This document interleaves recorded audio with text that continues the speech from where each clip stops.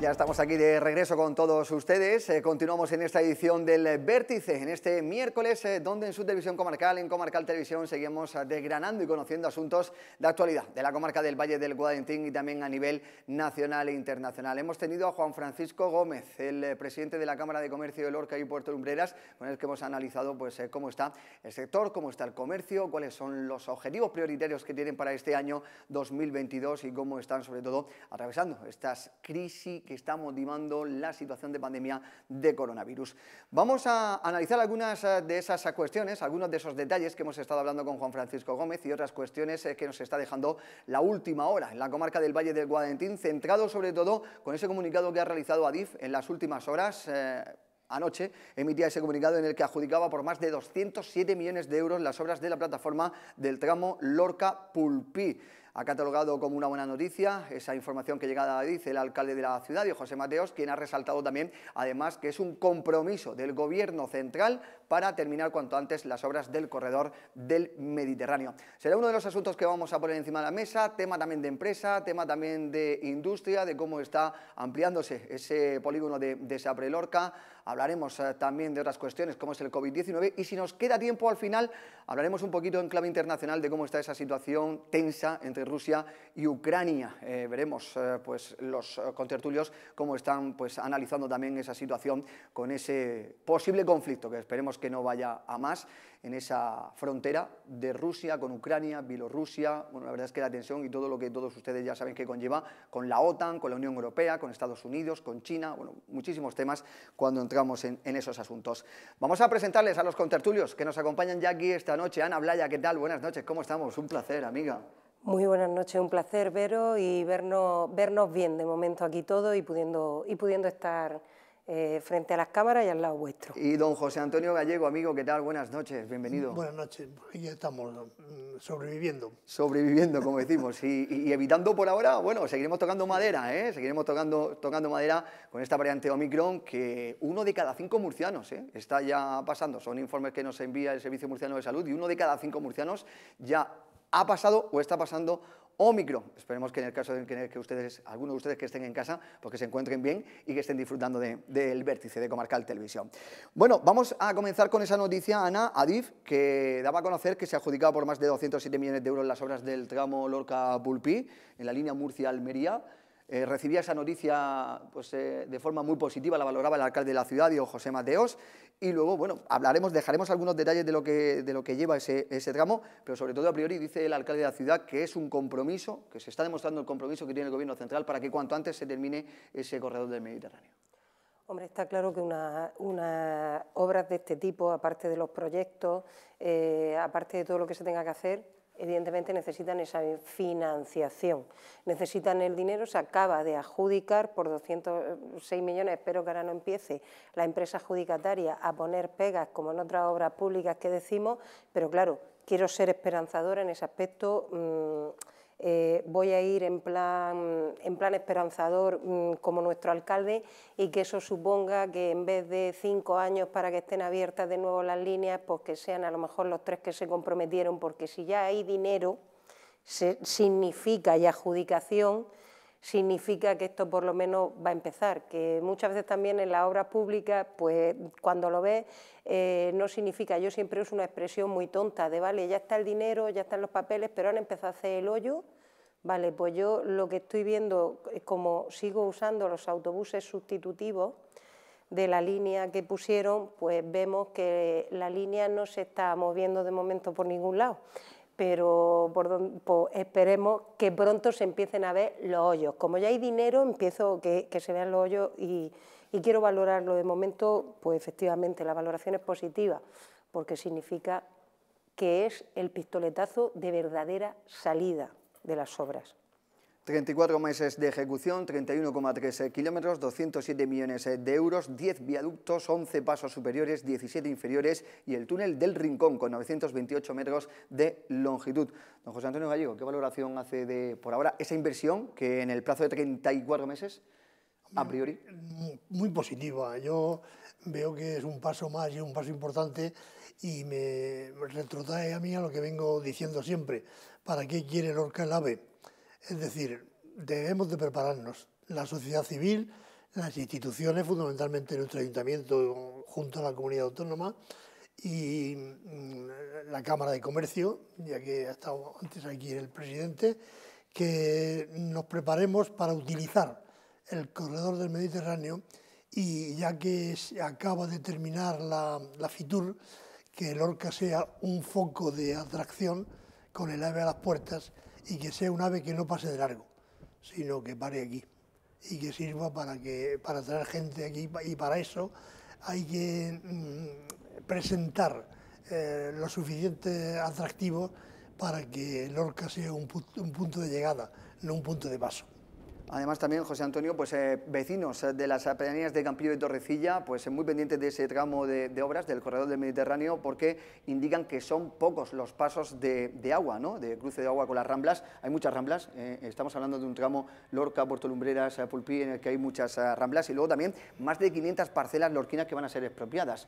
se está pagando a un precio que no consideran justo los dueños de esas, de parcelas. Me imagino que también, usted que ha sido alcalde, esto es una tarea también muy complicada, ¿no? A la hora de gestionar y a la hora de, los propietarios de reclamar lo que le corresponde. Sí, eso pasa siempre. Nunca se está de acuerdo con los precios, con los justiprecios que se ponen en las expropiaciones, pero es algo que es fruto de negociación y que al final hay que llegar a un acuerdo.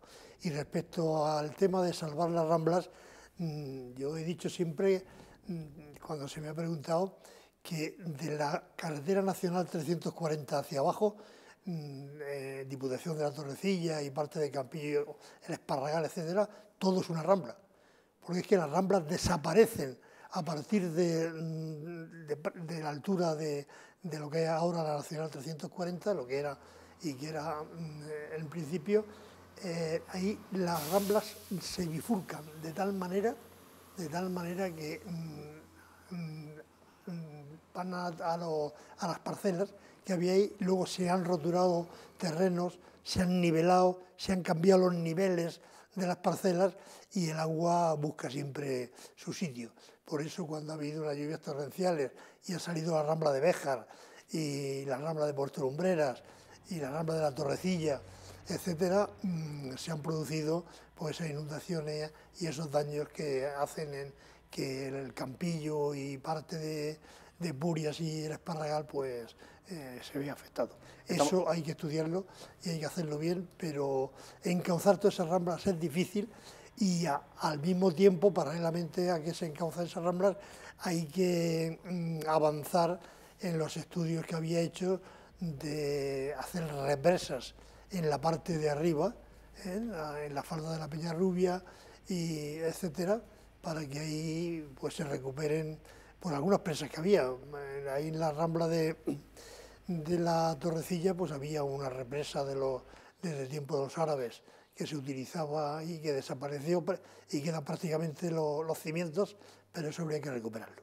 Eh, este tramo también conlleva eh, la estación de Almendricos, que sería una estación nueva, y la adecuación de la estación de Puerto Lumbreras y la de, Pulpí, además del ramal que seguiría lo que es hacia la zona de Andalucía y el ramal que continuaría hacia Águilas. En relación a las expropiaciones, por entendida en la materia, ¿esto puede detener el proceso a la hora de que me imagino de que haya a lo mejor alguna eh, acto judicial de algún propietario que reclame, o no, o directamente se tienen que se, tienen que ajustar a lo que le ofrece el gobierno y punto pelota. Se tienen que ajustar, no, lo que pasa es que ello no, no paraliza el proceso, es decir, para eso está, eh, mm, que se le llame justiprecio, pues muchas veces mm, mm, vendría por justito, no por justo, ¿vale? Por justito.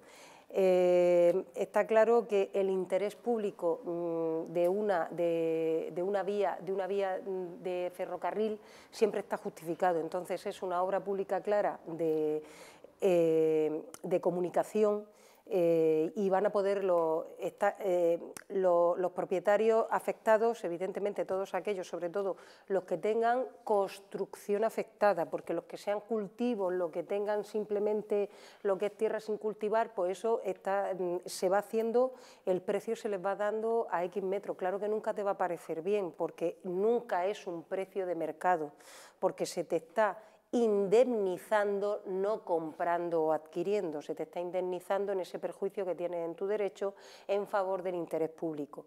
Claro que para paralizar en principio no, porque una vez declarada la utilidad pública, aunque tú no te pongas de acuerdo, tú te puedes ir a tus procedimientos administrativos, pero se puede hacer la toma de posesión por la Administración Pública correspondiente, en este caso la, Red Española de Ferrocarriles o, perdón, o la Administración de Redes Ferroviarias e Infraestructuras Ferroviarias, ADIF, eh, porque lo acaba haciendo todo el Ministerio de Fomento.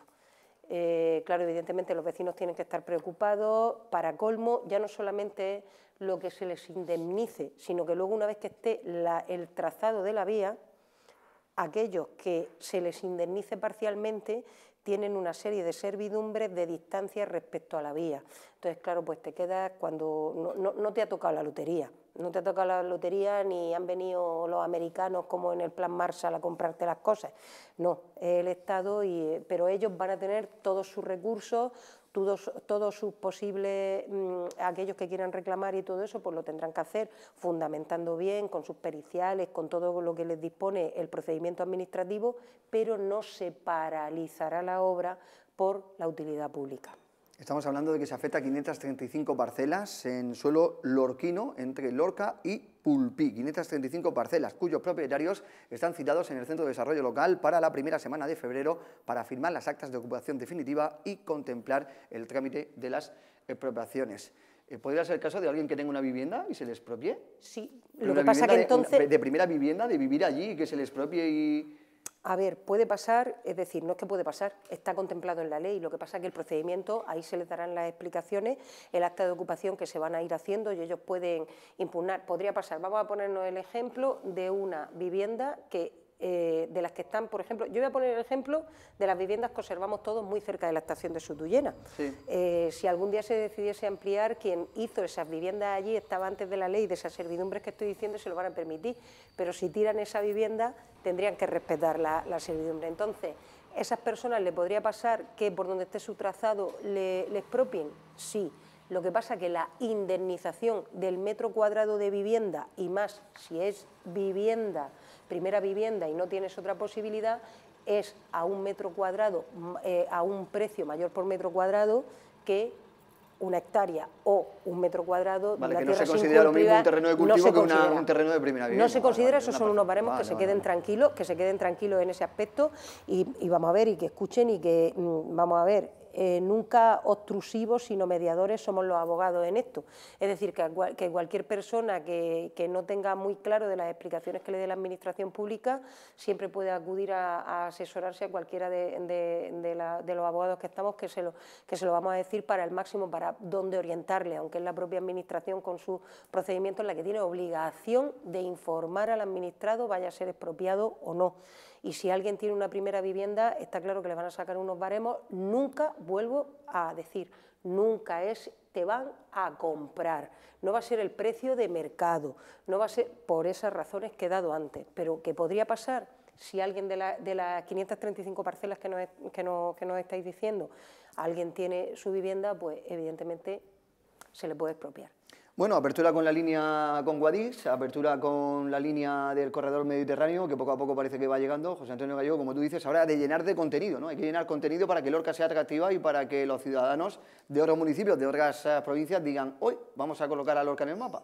Pues efectivamente, en eso tenemos que, eh, que ponernos en marcha en el sentido de eh, presentar un escaparate de cosas que se pueden hacer en Lorca cosas que Lorca tiene y que hay que poner en valor y en ese aspecto pues hay que recordar que el ferrocarril no tiene que ser una barrera, porque es posible, es posible que algunas de las parcelas a las que afecte el ferrocarril mm, tenga, mm, cambie un poco la servidumbre de paso que hay.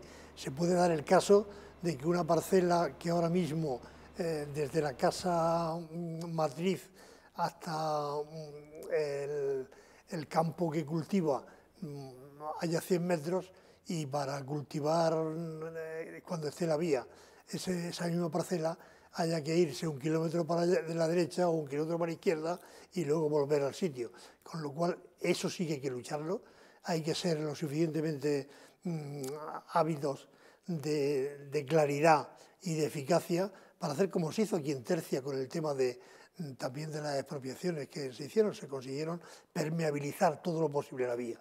Eso hay que hacerlo, hay que permeabilizar la vía no solamente para que pasen las aguas mm, de lluvia, sino para que también mm, la servidumbre de las parcelas, el, servicio normal de cultivo que, que tienen los campesinos ahora, pues lo puedan seguir manteniendo.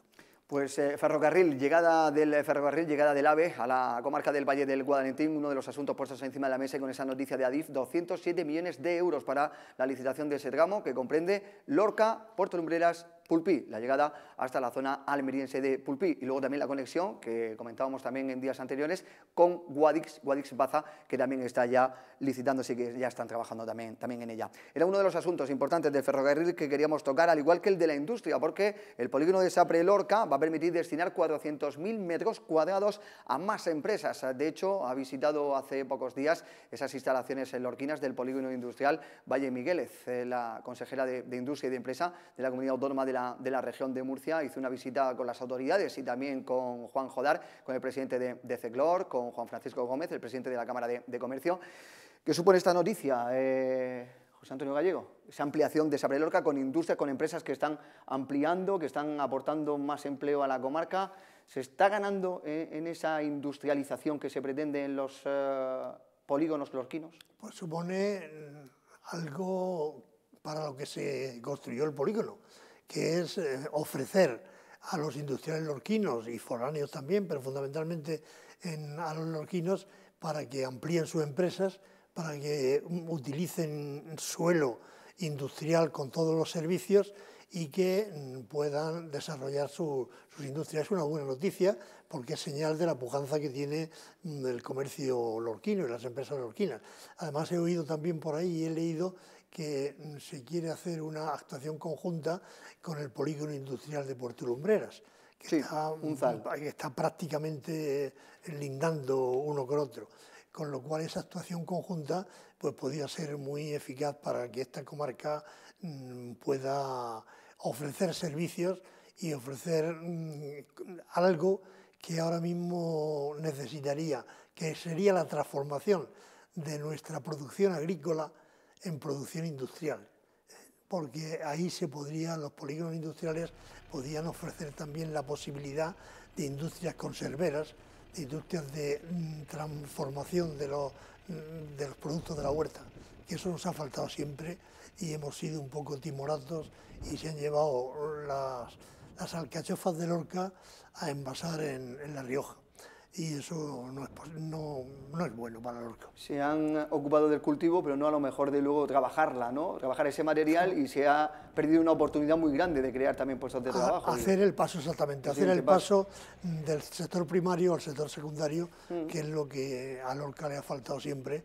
porque en eso sí ha faltado Mm, emprendedores, ha faltado un poco de valentía, excepto en el sector del curtido en su tiempo, que ahora ya desgraciadamente no, no es para tanto, pero esa transformación de materias primas producidas en Lorca en productos industriales producidos en Lorca sería ideal para el futuro. Teniendo en cuenta, es un tema muy largo que habría que hablarlo, porque teniendo en cuenta que dependemos en Lorca de tres elementos foráneos. Uno, la mano de obra extranjera. Sin mano de obra extranjera no hay posibilidad. Otro, las ayudas europeas. Las ayudas europeas, la PAC, la Política Agraria Comunitaria, pues tiene últimamente unos vaivenes y unos horizontes a veces con, con nubarrones. Y en eso pues habría que, que introducir elementos de contacto en mesas en las que estuvieran sentados todas las administraciones y todas las empresas, porque así es como se puede mm, pensar en el futuro.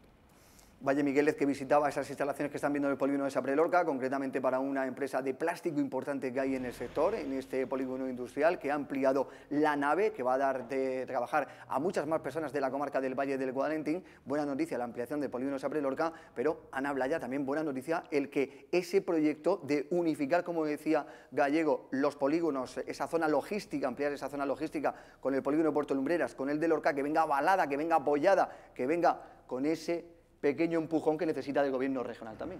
mm, la administración, en este caso la, administración regional, que siempre ha apostado, es decir, localmente, y así lo, lo habrá dejado claro el, el, presidente de la Cámara de Comercio y también cuando acompañó el presidente de CECLOR y presidentes anteriores a ellos, siempre lo habían estado pidiendo por la razón que estaba apuntando, que estaba apuntando José Antonio, eh, hacer que no tengamos un sector primario y un sector terciario fuerte, puesto que nos quedaría un secundario que también es fuente de empleo y empleo cualificado empleo cualificado, que eso significa en, en esa industria se da, se da un, trabajo, un trabajo en cuanto a contratación muchísimo con más, más fluidez y más seguridad de, de, esas propias empresas. La empresa que va a ampliar y, todo respecto de plásticos, pues también entra dentro de esa cadena de, de producción que va, que va a suponer eh, eh, esa empresa en concreto estará asociada también a parte agrícola y otro tipo de envasado y otro tipo de cosas, pero un polígono industrial, tú has dicho la palabra, se hace algo logístico, que ¿qué supone? Que todo lo que pueda estar alrededor desde la primera materia prima hasta el final se puede, puede ser atractivo para cualquiera de las empresas que lleva allí. ¿Por qué? Porque allí es donde va a haber un centro donde se puede poner un centro de transporte, donde se puede salir desde la industria, donde se puede, entonces va generando generando toda la cadena de producción en un espacio y un suelo atractivo, con servicios que atraiga empresas que sea fácil que desarrollen su actividad para poder generar empleo y riqueza a la comarca. Entonces, siempre es una buena noticia dado que con la, con la pandemia también eh, lo bueno es que no hubiese tocado algún centro logístico mm, tipo de alguna de las empresas que hay ahora mismo, ojalá en vez de donde está, no voy a decir la marca, no voy a decir la marca que todos conocemos, en la que todos compramos, ojalá que donde se situó el centro logístico de Corbera no hubiese tocado a nosotros ojalá no hubiese tocado a nosotros, es decir, porque ese tipo, ese tipo de, empresas generan los puestos directos más los indirectos. Creo que también va a pasar con esta ampliación, con lo cual, evidentemente, por parte de la Administración regional no solo queda nada más que apoyarlo, porque es favorecer en momentos como los que hay ahora de eh, una crisis, dar eh, un punto de fortaleza donde era necesario. Y ahí ahora mismo ese punto de fortaleza está en favorecer que esos suelos sean atractivos para producir, y ya no solamente producir como un suelo agrario, no, no, no, sino el industrial, que implica una urbanización, un coste de las administraciones también, pero que va a revertir en esas propias administraciones. Ampliación del polígono de Saprelorca, llegada de nueva industria, llegada de nuevas empresas y eso que la situación, José Antonio, no está muy bollante ¿eh? con todo el tema de las materias primas, eh, de los costes que se están aumentando y del aumento de, todos los productos que, estamos teniendo, pero ahí están luchando las empresas y la industrialización de ese polígono de, de Saprelorca y de los otros polígonos de Pero el mercado pondrá las cosas en su sitio. Estamos en una economía libre de mercado y entonces Mm, las cosas llegarán ahí. Habrá mm, periodos de crisis, habrá que modificar determinadas actitudes, habrá que buscar nuevos horizontes, pero el mercado se ha, demostrado siempre que es capaz de llegar las cosas a buen término. Por lo tanto, yo soy optimista porque el potencial del Orca, ese potencial fundamentalmente basado en lo agrícola, por una parte, luego no hablamos del tema cultural, que ese es otro, otro aspecto que hay que, potenciar, mm, pero en el tema agrícola fundamentalmente yo creo que Lorca no tiene que temer nada a los reajustes que está haciendo del mercado a nivel europeo, mm, ni siquiera mm, a nivel norteafricano, me atrevo a decir, porque no podemos temer todavía para eso hay que estar preparado, pero no podemos temer todavía la competencia desleal que en algún sector está abriendo, habiendo en algún producto, como los cítricos, fundamentalmente del norte de África, pero hay que buscar el equilibrio suficiente basado en el mercado, y el mercado es capaz de poner las cosas en su sitio, pero teniendo en cuenta, insisto, a lo que me refería antes, a la dependencia que tiene España de mm, eh, algo, cosas foráneas, como la mano de obra extranjera, como las ayudas europeas, y eso en ese aspecto mm, tenemos que ser conscientes de que esos pueden ser nuestros hándicaps, pero también pueden ser nuestras potencialidades.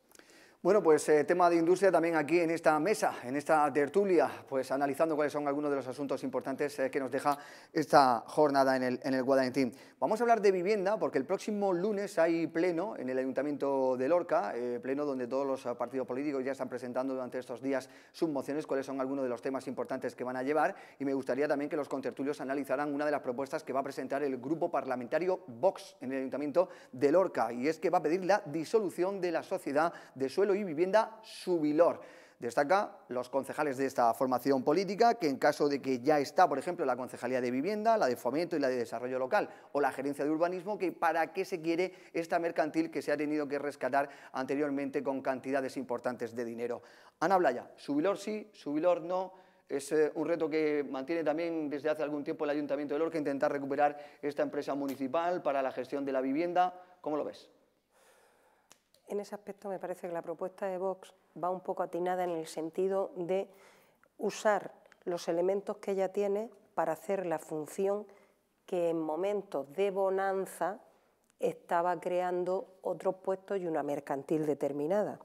Bien, mercantil que en su momento eh, se usó también de alguna manera un poco fuera de lo que se necesitaba, también ellos en su noticia lo dicen, que algunas de las viviendas que hicieron no llegaron ni, a adjudicarse ni, ni a nada, es decir, lo que surgió en un momento de economía muy diversa a esta, no tenía sentido. Y así lo había visto equipos de gobierno anteriores que ya habían mm, propuesto la liquidación, pero este equipo de gobierno actual pues vio que podía, a través de ella, podía reactivarla y propuso mm, sacarla de la o de donde estuviese, porque en principio se supone que se iba a liquidar eh, en periodo anterior y de pronto se decidió que no se iba a liquidar.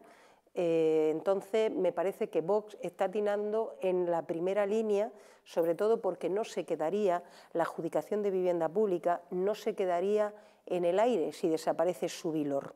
Es decir, si desaparece su vilor, existen otras instituciones que ellos mencionan, como la propia, tanto la Concejalía de Urbanismo como Concejalía de... puede hacer, puede hacer las mismas funciones que estaría haciendo la empresa.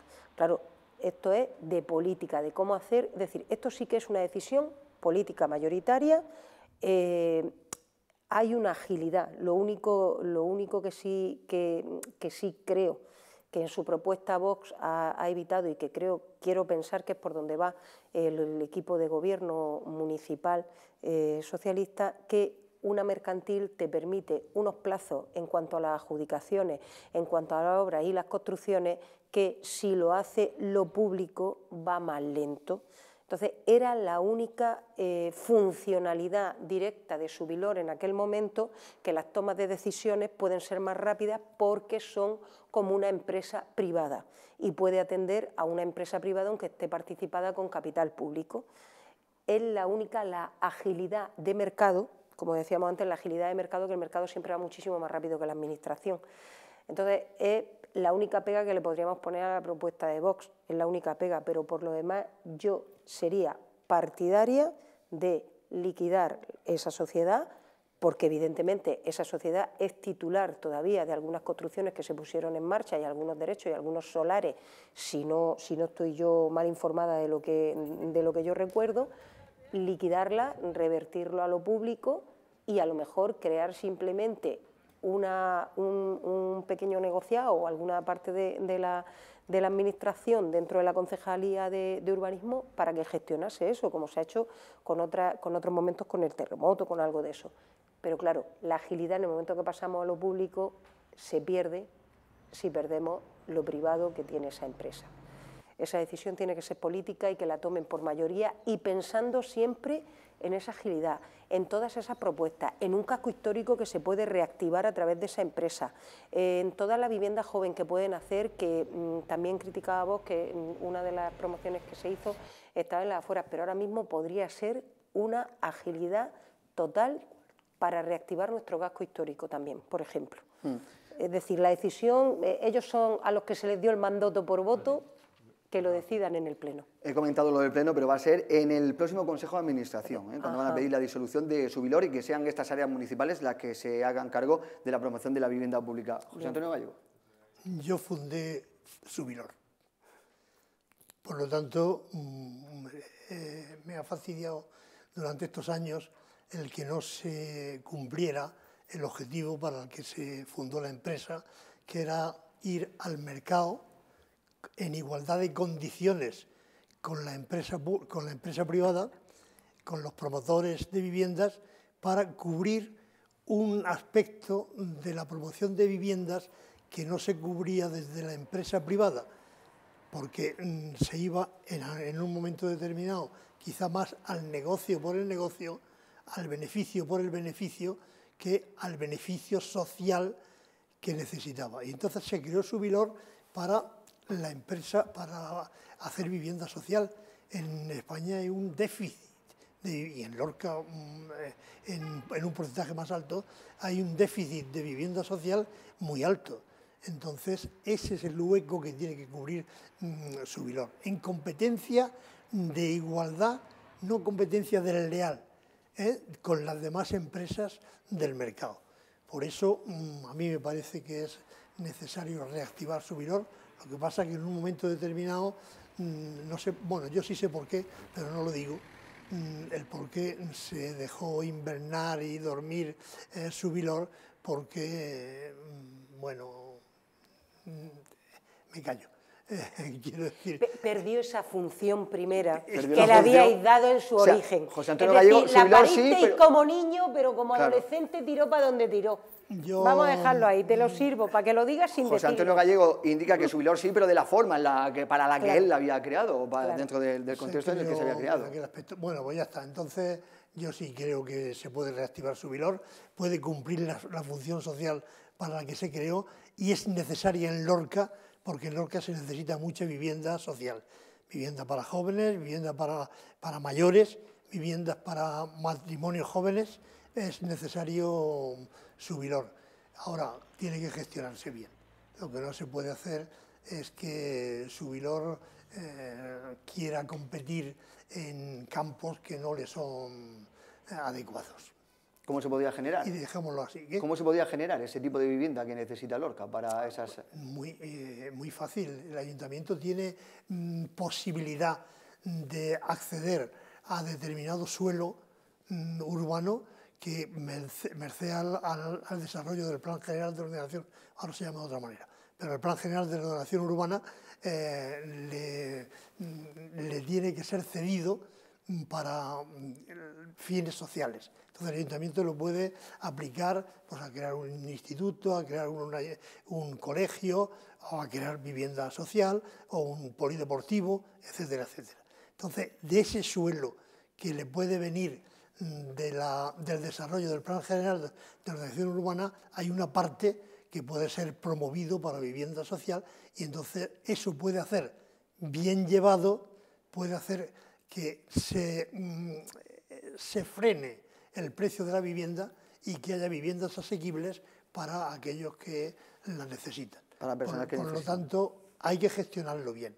Igual que yo tendría que felicitar muy mucho a los gerentes del polígono industrial, a los que han llevado adelante el polígono industrial, que lo han llevado muy bien mm, siempre desde su origen, no tendría que felicitar de ninguna manera a los que llevaron su vilón desde su origen. Y no digo más. Hasta ahí puede leer, como diría un famoso programa de televisión, ¿no? Hasta ahí, hasta ahí se, puede, se puede leer.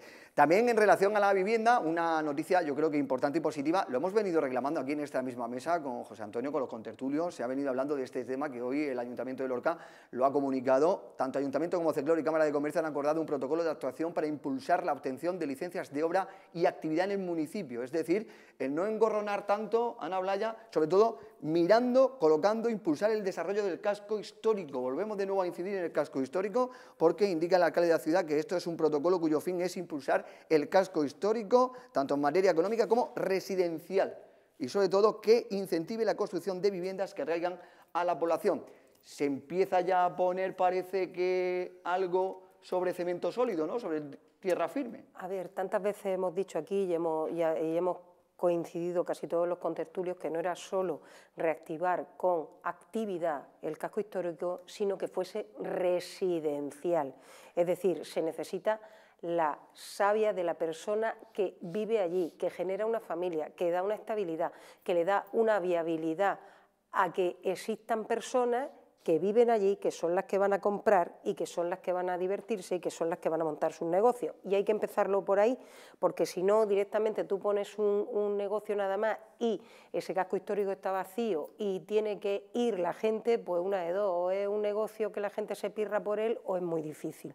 Entonces creo que se va atinando por fin y además es que el CECLOR, Cámara de Comercio, se había, se había estado apuntando por ahí y evidente, evidentemente es que es la salida, es decir, tú tienes que, el, comercio mm, no surge porque surge, primero están las personas que desde el trueque se intercambian cosas, pues hay que hacer que la gente resida, que sea agradable y entonces ya será visitable, accesible, todo lo demás. Eh, pienso que eh, todas esas eh, toda esa estabilidad es que las licencias sean fáciles de conseguir. No decimos que se puedan hacer, que estamos en un casco histórico, en cualquier, pero ya no solamente en el casco histórico, en cualquier otro punto de la ciudad, que se puedan hacer que la tramitación administrativa tiene que ser ágil, volvemos a la misma. El mercado, claro que pone cada uno en su lugar, pero el mercado necesita, el mercado siempre va más rápido y la administración no puede obstaculizar. Tampoco está claro que cuando estamos en un casco histórico, pues a lo mejor te van a pedir alguna serie de precisiones más para poder, para poder levantar, para que todo lo que tenga que ser de patrimonio público no te lo lleves para adelante o patrimonio histórico no te lo lleves para adelante, pero eso no significa que tengas que agilizar las cosas con tres administraciones distintas. No, nada de eso. Una sola ventanilla, una sola parte, que sea que desde ahí tramitas todo. Y lo que bendiga esta primera administración es la que le ha llevado a la otra, no que tengas que hacer como tres expedientes. Entonces, evidentemente, eso, eh, como ya se estaba contemplando en las propias ordenanzas, pero ahora se está llevando más a cabo mm, en la realidad y esperemos que eso sea una realidad que facilite que ahora también había escuchado las noticias de que se van a aperturar algunos negocios más en el casco histórico y eso siempre es buena, es buena noticia cuando sea una realidad, sobre todo en esta situación que estamos, mm, en esta especie de tristeza comercial que nos invade. Mm. Eh, por resaltar dos apuntes, eh, José Antonio, eh, impulso y agilización en los expedientes de obtención de licencias para proyectos para construir más de cinco viviendas y para obras o actividades encaminadas a actividades económicas que impliquen la creación, mantenimiento de puestos de trabajo en cualquier punto del término municipal. Y también ciñéndose al recinto histórico de Lorca, se procurará que estas condiciones sean extensivas a cualquier licencia de rehabilitación que se solicite en el casco histórico, en el recinto histórico no tiene remedio. No tiene remedio. No tiene remedio. O sea, todo lo que se hable del casco histórico, si no se mm, busca una normativa lo suficientemente ágil que no tropiece con las opiniones, que a veces son simplemente opiniones de eruditos, por no decir, por no decir sabijondos, de, mm, temas culturales, ¿eh? Mm, donde no saben distinguir entre lo que es un elemento a conservar porque tiene valor histórico, artístico y tal. Y yo les decía que no saben distinguir entre lo que es la Catedral de Burgos y, un, y, un, balcón de la, de la capa. Entonces mm, hay que buscar ese, ese, punto mm, de utilidad pública. Eso sí que es utilidad pública. Hablamos antes de otras cosas de utilidad pública. De utilidad pública de, la construcción y la puesta en valor de los inmuebles que hay en el casco histórico, conservando lo que haya que conservar, pero también mm, quitándose del medio lo que es muy cutre. En ese aspecto mm, yo creo que, vuelvo al principio, que no tiene remedio todos los protocolos que se, que se hagan si no hay la voluntad definitiva y las directrices concretas de lo que hay que conservar y lo que no hay que conservar, lo que la actividad que se puede hacer y la que no se puede hacer.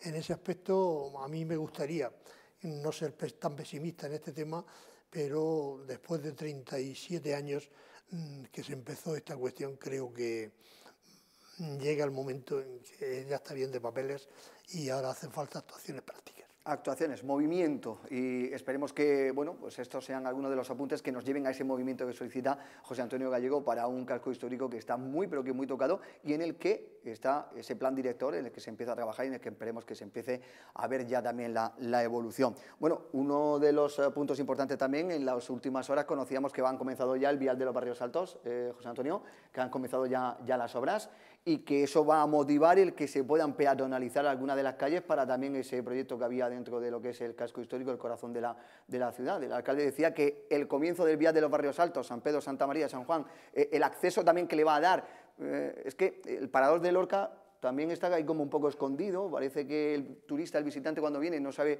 eh, por dónde salir, dónde llegar, cómo llegar, le va a dar una salida directa o casi directa desde la autovía, ese vial de los barrios altos, por la carretera de la parroquia, y luego también va a incentivar el que se puedan peatonalizar algunas calles y se pueda dar más vida al, casco histórico, ¿no? Son, algunos elementos que a lo mejor se van dando para conseguir ese proyecto que, tantos años estamos buscando del centro histórico de la ciudad, ¿no? está, eh, está muy bien lo del, lo del vial de los barrios altos, está muy bien, pero voy a decir una herejía. Mm, y el teleférico que había previsto desde, desde detrás de San Francisco, o en lo que fuera, teleférico, ascensor, mm, subida rápida al castillo. En Toledo han puesto escaleras mm, de esas como las del corte, mecánicas como las del corte inglés y tal. y hay sitio para hacer algo de subida directa y bajada directa, porque el parador, según decía el otro día el director, está completo siempre, siempre tiene, está lleno, pero la gente se queda allí, parece ser, y no baja hacia abajo. Porque ahí, o cuando baja sale a localidad del limítrofe. Porque no puede, porque no puede bajar. Pues vamos a hacerlo. Y, y mi herejía ahora mismo es que adelante con el acceso directo, sea pues con ascensor, escaleras mecánicas, teleférico o lo que sea, desde los antiguos depósitos del Tevilla hasta el castillo. Bueno, ahí está puesto, ¿no, Ana? No, y sería una zona, por donde eh, acaba de decir él, sería una zona que medioambiental, usando electricidad o algo, no es disparatado lo que está diciendo él ahora mismo. O sea, lo de las escaleras mecánicas o con lo que supone, claro, lo que pasa es que ahora mismo, como está la electricidad, tampoco es para decir que nos pongamos. Hay placas solares, hay placas solares. Yo misma, o sea, con placas solares como somos la ciudad del sol, porque es que si no, nos va a, costar cada escalón, entre el impacto ambiental, entre el no sé qué del paisaje, entre el no sé qué, vamos, cada escalón no quiero saber lo que nos cuesta. Pero no, no, quiero ni saberlo porque no sería capaz mi mente de saber lo que cuesta, pero a ver, está claro que hay que darle esa fluidez a esa joya que tenemos, que es el parador donde, donde está al lado, pero claro, quien llega se queda allí y se tiene que mover en coche se tiene que mover en coche porque, mm, cuidado, se tiene que mover en coche porque se quiere mover en coche, porque otros, otros que no conducimos, porque no tenemos carnet, nos subimos y nos bajamos andando por todos esos lados, que cuando vamos subiendo mm, notamos el asma mm, y cuando vamos bajando vamos notando que la rodilla y la edad se nota, pero evidentemente hay que hacerlo, habría que intentarlo. En eso, en eso coincido con José Antonio, que, que habría que intentarlo. El vial va a hacer que sea accesible para llegar pronto a esa parte y que no se quede como aislado, pero ahora lo que hay que intentar es que esa fortaleza originaria que en la época medieval fue para refugio no se quede totalmente aislada de la ciudad, tampoco al revés, tiene que ser que se comunique con, la, con el extramuros, que diríamos. Bueno, vamos a comentar también tema internacional. Era uno de los asuntos que también poníamos encima de la mesa, esa tensión que existe entre Rusia y Ucrania, esa acumulación de fuerzas militares eh, que está colocando Rusia cerca de territorio ucraniano, un territorio al que considera suyo y donde está elevando la tensión. Además, reuniones eh, que se han producido precisamente esta mañana a varias bandas entre la Unión Europea, representadas por Francia, por Alemania, también con Rusia, con Ucrania, Estados Unidos. José Antonio Gallego, ¿llegará? Eh, ¿Hay algún ministro por ahí, hay alguna persona entendida que dice que no va a llegar la sangre al río? Yo con esto de los rusos y los ucranianos no, no me fiaría mucho, ¿no? ¿O qué? Yo me fío de lo que, de lo que decían en televisión hace, mm, esta mañana y ayer dos, dos trabajadores jovencitos que se han ido a, trabajar allí a Ucrania. que ellos van por la calle y lo ven todo normal y que los ucranianos están mm, eh, convencidos de que allí no va a pasar nada. Ojalá, ojalá. Yo creo que es más que nada un juego de las grandes potencias para mantener viva pues, la influencia que ha perdido la URSS, la antigua URSS, Rusia en este momento y mm, decirle al mundo que allí están ellos todavía y que deben estar un poco disgustados los rusos porque China les ha ganado en el pulso con Estados Unidos y ya el, pulso mundial no es eh, Estados Unidos-Rusia, sino Estados Unidos-China. Entonces, en ese aspecto yo creo que es un, hacerse, echar su pulso a ver quién gana, pero yo creo que no va a pasar nada porque no le interesa a nadie pasar nada, porque el juego de la energía eh, está también por ahí debajo de, este conflicto. Eh, Europa depende mucho del, gas, eh, ruso y en ese aspecto a nadie le interesa un conflicto mundial. Pero yo qué sé, a veces los hombres no cumplen los, los designios de, la racionalidad. ¿Entiende, por lo tanto, José Antonio, el movimiento de fuerzas de tropas, tanto de los países de la Unión Europea como España? Sí, es un poco decir lo que, mm, los rusos están haciendo, mm, en fin, un espejo de lo que tienen, un escaparate de todo lo que tienen con esas maniobras que están haciendo en las fronteras de Ucrania y entonces la OTAN dice nosotros también tenemos fuerza. Y como no tenemos un ejército, no hay un ejército europeo, que eso es uno de los fallos que ha tenido la Unión Europea siempre, pero mm, tiene que recurrir a las naciones y que cada nación pues mande a sus fuerzas armadas y decirle nosotros también tenemos, tenemos fuerza y que España pues esté ahí pues me parece muy bien, porque España no puede quedarse, quedarse al margen. ¿Y hacia dónde va el gobierno español? ¿Hacia Rusia, con esa importancia, como dice, de que tiene la Unión Europea con el tema del gas, apoyando a Ucrania? Va, con, Europa va con Europa apoyando a Ucrania, porque ahí el problema, mm, eh, la chispa que ha saltado ahora es que Ucrania mm, ha mm, avanzado su intención de entrar en la OTAN. Y entonces a Rusia no le interesa, no le conviene. Y esa chispa es la que ha hecho que, que se, que se pongan en pie de guerra en, esas fronteras. Pero yo creo que al final no va a pasar nada porque va a pasar que se va a retrasar la entrada de Ucrania en la Unión Europea y que al final los intereses del gas, que va a subir la energía, que va a subir el gas y que mm, Europa va a tener que pasar por el aro mm, de, de más dólares o más euros, en este caso, para tener la energía suficiente. Ana. Está claro que, mm, evidentemente, para mí, por resumirlo de una manera así como muy gráfica, eh, Rusia está diciendo, no creáis que nosotros que tenemos potencial. Ellos ahora mismo lo que tienen el potencial es financiero y de eh, armamentístico.